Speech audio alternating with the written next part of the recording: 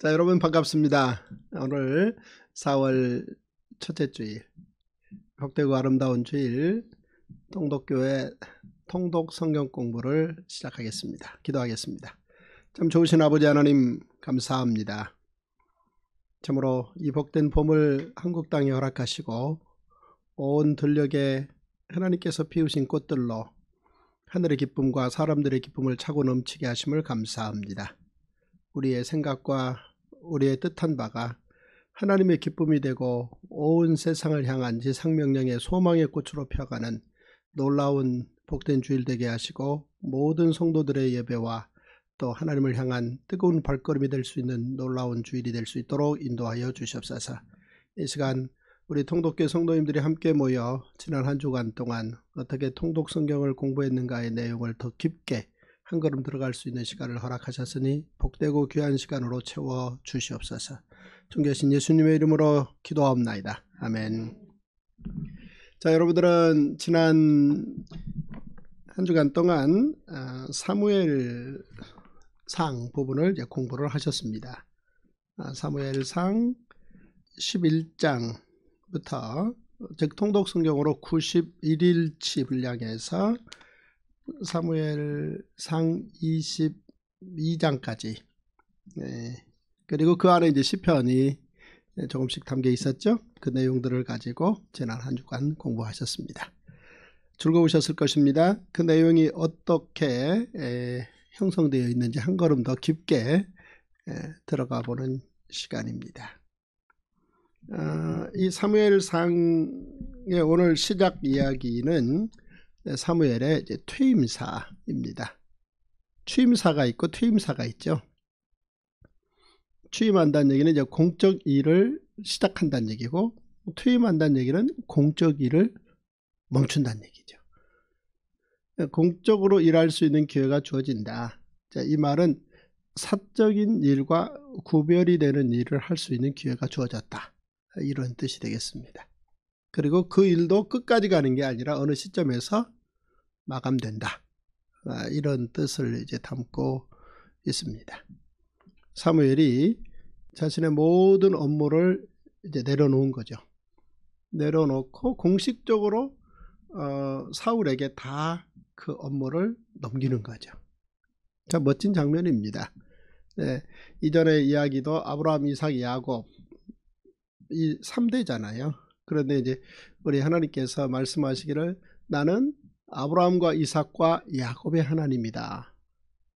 하나님이 스스로 당신을 드러내심에 있어서 어느 한 시대에 어느 한두 사람의 하나님이 아니시고 대를 이어가는 시대 경영의 하나님이시다. 이제 그런 표현을 썼더랬잖아요.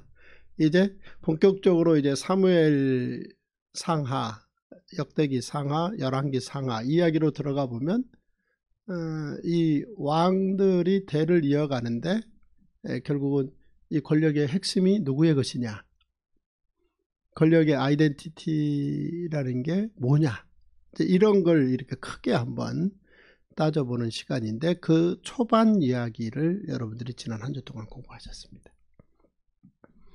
어, 이제 이 사무엘상 11장에 여러분들이 이제 보신 내용 예, 보면은 사무엘의 퇴임사 그리고 이어서 어, 왕정 500년의 시작 즉 사울 이야기 그리고 이어서 음, 동덕성경으로 여러분들이 에, 사울의 권력 사유와 어, 조금 불편한 얘기죠. 어, 그리고 이어서 기도로 여는 하늘 문 음, 그리고 또 이어서 사울의 공포 정치 시작 이제 이런 내용들을 지난 한 주 동안 이제 공부하셨습니다. 자 여기에서 사무엘의 퇴임사 그리고 사울의 권력 시작 권력 사유와 사울의 공포 정치 요 말을 다 묶으면 아, 이 권력이라는 말이 공통언어입니다. 권력이란 뭘까? 아, 자, 우리가 여기서 첫째 질문은 권력이란 뭔가? 어, 그 다음에 권력은 누구의 것인가? 이것에 대한 어, 왕정 초기 질문이라는 거죠. 근데 당연히 우리는 이제 이 사회적 학습 효과로 왕 하면 우리는 권력의 상징자, 권력의 주인이라고 우리는 이제 왕을 생각하고 있습니다. 그런데 사무엘이 퇴임하면서 본격적으로 왕의 직무를 시작하는 사울 왕에게 뭘 얘기해 주는 거니? 나는 지난 40여 년 이상 국가를 경영하면서 권력을 사유화한 적이 없다. 그 얘기를 이제 본인이 선언하면서 백성들에게 같은 한 시대를 동시대를 살아왔던 백성들에게 공개 증언하라. 아, 자 이렇게 거기에서 연설을 하는 이야기죠. 사실 이제 아, 우리가 자기 주장은 뭐 가끔 할 수 있어요. 그러나 가족들을 대상으로 교인들을 대상으로 국민들을 대상으로 내가 권력 사유화한 적이 있으면 공개 증언하라. 이런 기회를 열어놓기는 쉽지가 않습니다. 왜냐하면 다 말들은 안 하고 입 다물고 있지만 공개 증언하라 그러면 할 얘기들이 있잖아요. 어, 증거를 대버릴 수 있습니다. 근데 이제 사무엘이 공개 증언하라 라고 얘기를 하는 거죠. 그런 적 있느냐. 근데 놀랍게도 백성들이 없다. 사실은 기도를 이제 높이지 않아요. 사무엘이 기도를 굉장히 낮췄었습니다. 즉, 어, 누구 나귀 한 마리를 사사로이 이익을 취한 적이 있느냐. 뭐 어떤 큰 게 아니라 그 작은 기준으로 증언해보라. 그런데도 이제 백성들이 다 보편적으로 그런 적 없습니다. 그런데 어떻게 국가를 통치했느냐 지난 수십 년 동안 했을 때 이제 사무엘 같은 경우 권력의 주인은 하나님이시다. 이걸 드러낸 시간이었다. 그래서 이게 이어져 가야 된다. 이것을 백성들에게 그리고 왕으로 등극하는 사울 왕에게 제안했다는 거죠. 거기서 이제 다 그러기로 어, 약속들을 했습니다. 그런데 문제는 사울 왕이 2년 만에 권력을 사유했다는 거죠. 시간 많이 안 걸립니다. 좋은 것에 익숙해지는 게 2년이면 된다는 거죠. 어, 사실 이것도 꽤 긴 시간이에요. 2년 만에 이제 사울이 권력을 사유화하게 되는 사건이 발생하죠. 그러자 이제 여러분들이 읽은 내용에 가보면 이제 사무엘이 2년 공백을 깨고 나섭니다. 사무엘이 사실은 이제 사울이 왕으로 어, 역할을 공식적으로 이제 충분히 시작하면서 어, 사무엘이 물러섭니다. 그러니까 물러서는데 하나님께서 보시고 아 2년 지켜봤는데 저 사울에게 남은 모든 권력 큰 틀에서 보면은 우리가 결과론적으로 다 보잖아요. 그러니까 성경 66권을 한 권 전체로 놓고 본다면 향후 왕정이 500년 갈 거예요. 500년 갈 건데 저 집안의 권력 맡기면 안 된다는 거죠. 네. 그러니 이제 어, 저 집안은 이제 어느 시점에서 물러나게 하고 그리고 정말 어, 권력의 주인이 하나님이신 것을 인정할 그럴 사람을 새로 선별해야 되겠다. 하나님이 이제 그 큰 그림을 그리신 거죠. 그리고 이제 사무엘에게 자, 이 일을 시작하자 라고 제안을 합니다. 사무엘 입장에서는 어, 이게 이 하나님의 제안을 받기가 쉽지 않았던 거죠. 그 쉽지 않은 이유 가운데 하나가 사무엘도 인간인지라 사울의 눈치를 보고 있었던 거죠. 참 쓸쓸하잖아요. 부모가 자식 눈치를 보기 시작한다. 좋은 쪽으로는 아주 좋아요. 근데 어, 기저귀 갈아가면서 키워가지고 키워놨는데 어느 순간에 가면 부모가 자식 눈치를 슬슬슬슬 보고 있다. 아니 서리 집사가 안수 집사 되고 안수 집사가 장로 되고 그랬는데 어느 순간에 담임 목사가 장로 눈치를 슬슬 보고 있다. 좋은 쪽으로는 천번 만번 좋습니다. 그러나 이제 어느 쪽으로 들어가면 쓸쓸하기 짝이 없는 부분이죠. 인간적으로. 사무엘이 사울 눈치를 보고 있었던 거죠. 결국 하나님 앞에 글쎄요. 이 일을 하긴 해야 되겠는데 쉽지 않습니다. 왜냐하면 사울이 저를 눈여겨보고 있습니다. 그리고 권력 변동과 관련해서 즉 권력 2년 만에 권력 사유화를 얼마나 튼튼하게 진행해 가고 있는 거니 튼튼하다는 말이 안 어울리네요. 여기는 이제 사가지로 얘기해야 돼. 사가지, 네 가지로 이렇게 권력 사유화를 해가고 있는지 너무 사울이 사무엘을 예의주시하고 있다가 뭔가 권력 사유화에 걸림돌이 될 것 같으면 죽이겠다라는 생각을 사울이 하고 있었다는 겁니다. 그러니 이제 하나님께서 그러니 해야 된다. 그러니 목숨 걸어라. 그러니 지금 저 사울에게 맡겨놓으면 되겠느냐. 가라. 자, 그러자 이제 어, 다윗이라는 사람을 찾아가죠. 이 사무엘이 베들레헴에 가서 만나봤더니 어른도 아니고 너무 어린 아이예요. 어린 아이. 근데 이 말은 이제 우리 하나님께서 권력이 뭔지 권력의 주인이 이, 결국은 이제 하나님 거라는 것을 가르치기 위해서 롱텀 시간을 선택하신 거죠. 그러니까 사울을 바로 바꿀 대상자를 찾은 게 아니라 사울의 권력 사유와의 폐단이 뭔지 충분히 몇십 년을 경험하고 그리고 그 기반 위에 진정으로 권력의 주인이 누구다. 하늘에 계신 하나님이다 라는 것을 사람을 통해서 보여줄 하나님이 여러 차례 말씀을 하시지만 사람들이 그걸 인식을 못한다면 그건 또 허공에 떠도는 하나의 컨셉밖에 안 되거든요. 그러니까 사람을 통해서 보여줄 사람을 지금 미리 선택한다. 라는 얘기입니다. 참 우리 하나님께서는 이제 미리 선택한다라는 거 이거 참 중요한 부분이에요. 그거 쉽지 않거든요. 미리 미리 일도 미리 미리 하기가 쉽지 않잖아요. 닥친 일도 쉽지 않아요. 그것도 미뤄버려요. 그런데 길게 보고 미리 선택을 해서 훈련을 시키겠다. 자, 이 하나님의 계획에 사무엘이 흔쾌히 목숨 걸겠습니다. 해서 이제 다윗의 머리에 기름이 부어진다 그런 얘기죠. 예, 그런데 그런 상황에서 이제 바로 여러분들이 읽은 이야기는 어, 사울이 이끄는 국가가 아, 위기 상황에 처해진다는 거죠. 국가가 위기 상황에 처해진다라는 것은 이제 내부에서는 반란이고 외부에서는 침략이죠. 그런데 이번에 아직 내부 반란은 아니고 외부 침략인 거죠.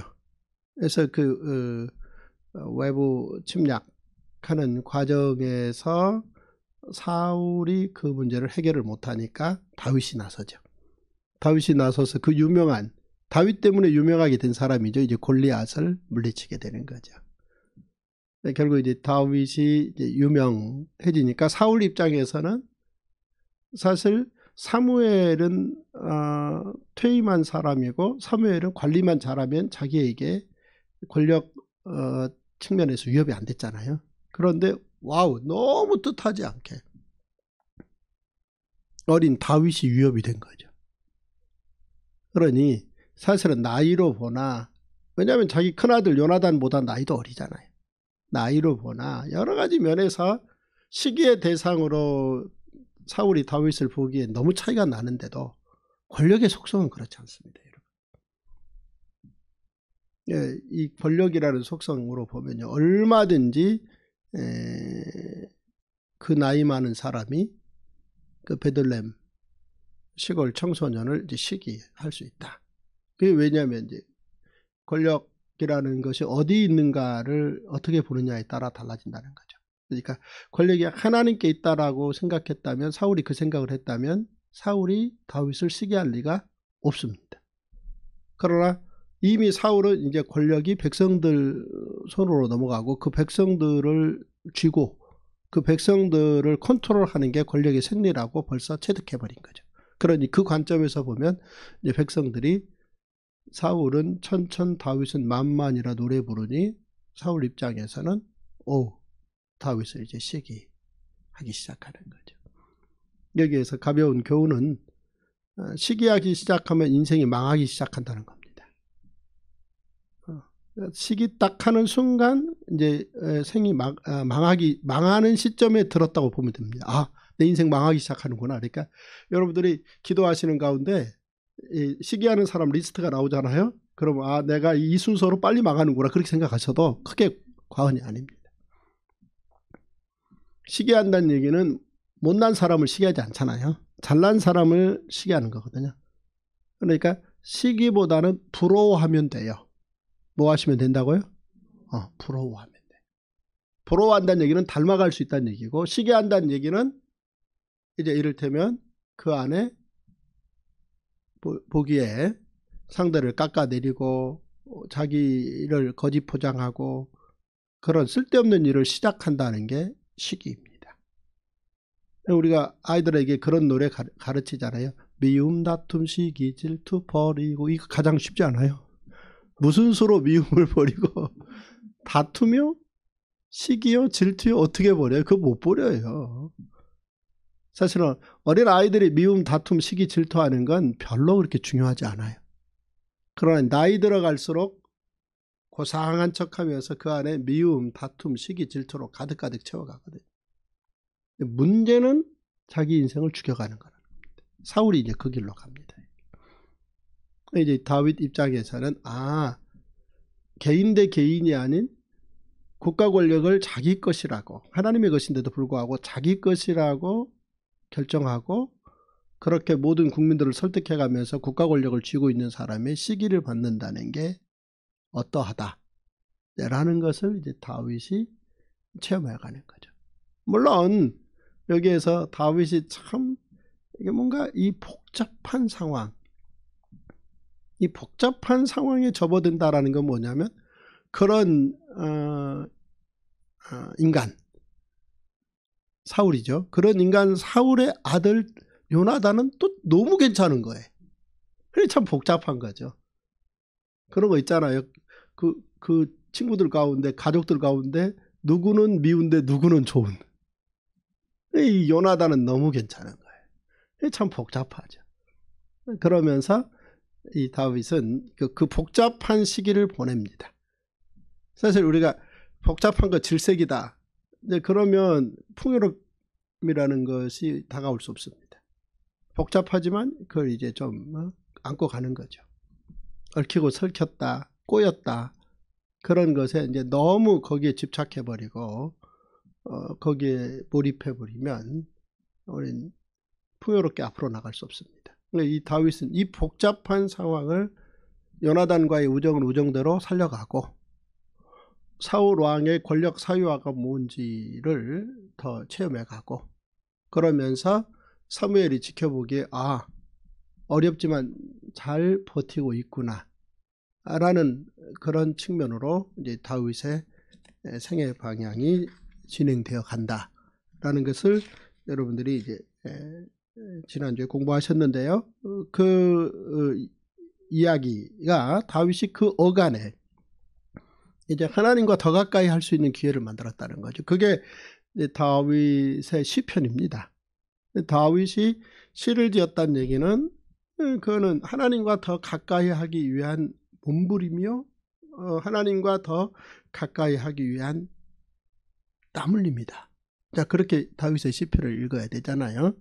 이 사울의 이 권력 사유화가 이게 차근차근 조직화될 때 그때 다윗이 사울의 반대자의 입장에 더 부각되면서 그 공동체 내에 함께 존속할 수 있는 어떤 공간이 자리가 없어지는 그런 상황에서 어, 다윗은 오히려 어, 하나님 앞에 더 가까이 가는 시간을 기도로 썼다. 그 기도가 여러분들이 읽어보신 내용 가운데 하나잖아요. 10편 34편인데 사울이 하도 자리를 좁혀버리니까 어, 그 사울이 다스리는 나라에서 어, 떠났잖아요.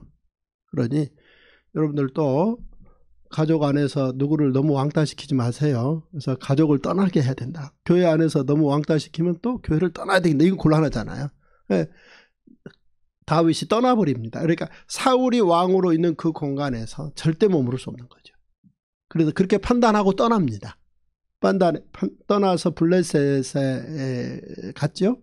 그래서 이 아비멜렉이라는 사람 앞에까지 이제 놓이게 되는 그 상황에서 아비멜렉이라는 사람은 사울보다 한 수 더 뜬다라는 걸 다윗이 직감하죠.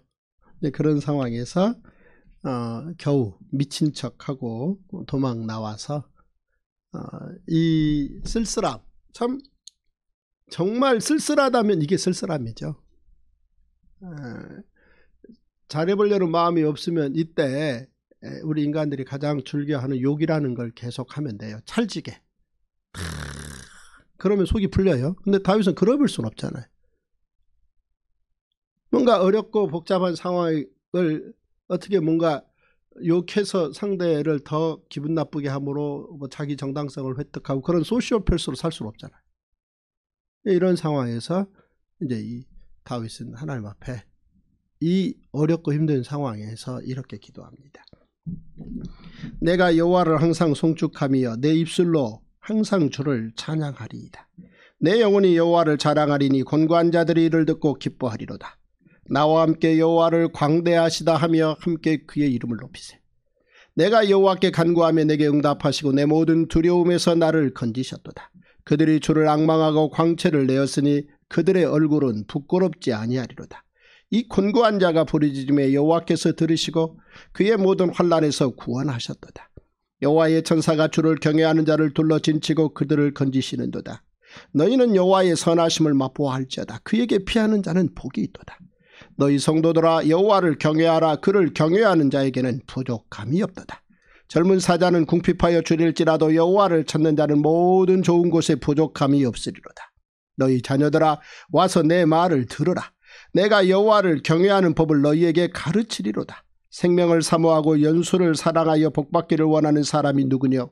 내 혀를 악에서 금하며 내 입술을 거짓말에서 금할지어다.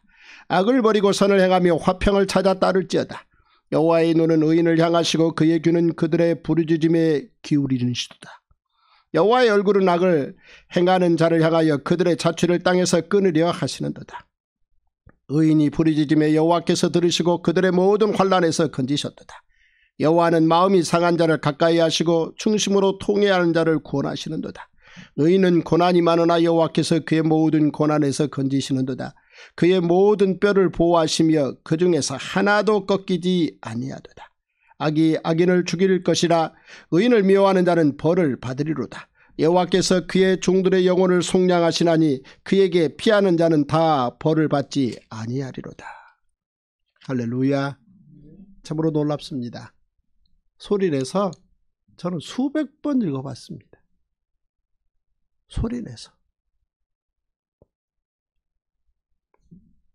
참으로 3천년 전 다윗에게 이 고백은 권력의 주인이 누구인가 권력의 사유화를 가지고 주변 사람들을 또 자기를 포함해서 괴롭히는 사람의 그 어떤 권력적 폭력이 무엇인가 그러나 이제 그런 와중에서도 진정한 권력자이신 하나님께서는 의를 행하고 계시기 때문에 그 안에서 그의 백성으로 숨쉬며 행복한 삶을 살고 있다라는 고백입니다. 할렐루야. 아, 참 멋집니다. 그러면서 이제 그는 어, 500년 사건을 이제 거슬러냅니다. 이 시편 안에 들어있는 그의 모든 뼈를 보호하시며 그 중에서 하나도 꺾이지 아니하도다. 이제 이 표현은 500년 전 다윗 이전 500년 전 애굽에서 그들의 조상들이 애굽 사람들이 권력을 얼마나 애굽 민족 중심으로 사유화했는지 제국하고 있었잖아요. 그 제국의 권력 사유화의 사슬 속에서 그의 백성들이 너무 힘들게 살고 있었잖아요. 그럴 때 하나님께서 모세를 보내서 첫 번째 6월절 1년 된 어린 양 사건을 통해서 어, 그 피로 장자들을 속량하셔서 구원하시고 그 뼈는 꺾지 말라 그랬잖아요. 그 얘기를 하는 거죠. 하나님의 의의 통치였다는 겁니다. 그리고 그 하나님의 의의 통치로 시작된 이 나라는 어떤 풍파가 있겠지만 지속적으로 하나님의 의의 통치가 진행돼야 된다. 이 고백을 하고 있는 거죠. 결국은 이 고백은 이후 천년이 지나고 우리 예수님의 진정한 십자가에서 뼈를 꺾지 아니하시고 진정한 하나님의 의의 통치를 이루신다라는 이야기를 이제 담아내는 고백을 했던 것입니다. 재미있으셨어요? 이제 이런 모든 시간들을 보내면서 사울과 관계 안에서 어, 권력의 주인이 누구이냐라는 것을 학습하고 난 후 이제 곧 여러분들은 이제 다음 주 시간에는 다음 주 매주일 매일 통독 공 통독 성경 공부 시간에는 여러분들이 이런 학습 과정을 거쳐서 어, 공직자가 된 권력의 책임자가 어떤 일을 하는지를 이제 보게 될 것입니다. 이런 과정을 통해서 왕이라는 공직자의 자리에 앉았다는 거죠. 권력의 주인 자리에 앉는 게 아니고 그런 복되고 아름다운 얘기를 여러분들은 내일 또 공부 내일부터 공부하시게 될 거예요. 열심히 공부하세요. 기대가 되십니까?